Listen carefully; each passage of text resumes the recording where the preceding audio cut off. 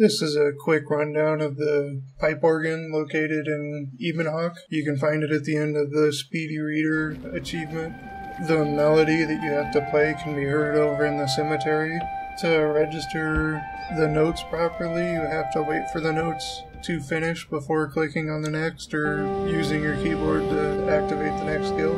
And when you're switching octaves, you need to wait for the last note to finish before switching, but you can immediately press the next note on that new octave. For the notes of the melody, you can either watch the video and just copy the notes that I hit, or I'll leave a link to the wiki in the description box.